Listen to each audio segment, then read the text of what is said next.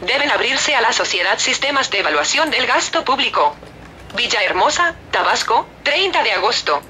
Cuando los sistemas de evaluación del gasto público se abren a la sociedad, funcionan mejor los gobiernos, aseveró Mauricio Merino Huerta, quien durante su participación en el encuentro de presidentes municipales electos, afirmó que, desafortunadamente, hoy en México la rendición de cuentas se lleva a cabo de espaldas a los ciudadanos.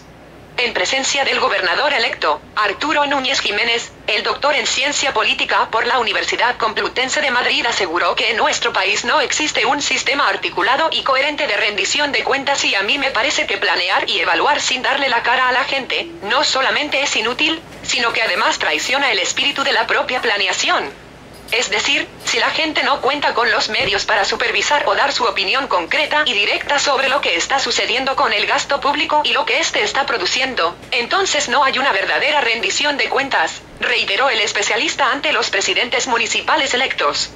Al disertar sobre el Sistema Nacional de Planeación Democrática, Merino Huerta indicó que no hay ninguna razón objetiva, legal o política, de ninguna naturaleza, para que la gente no esté enterada en qué se gasta el presupuesto, por lo cual es responsabilidad de los servidores públicos decir qué se va a hacer, cuánto va a costar, quién lo hará, qué plazo se llevará y cómo se evaluará, porque si la gente ayuda a vigilarlo funciona mejor,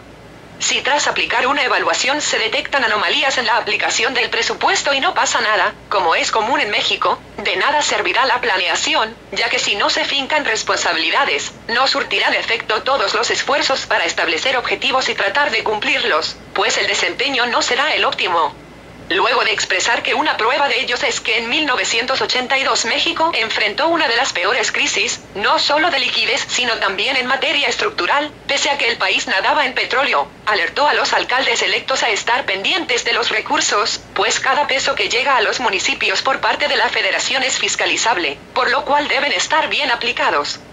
Tras una amplia explicación de conceptos como el sistema de evaluación de desempeño, SED, e instrumentos de control del presupuesto, Merino Huerta precisó que, en suma, un sistema de planeación es el que articula los propósitos que se persiguen con un compromiso político fuerte, con sistemas de programación asociados a gasto y con el nombramiento de responsables de dichos proyectos.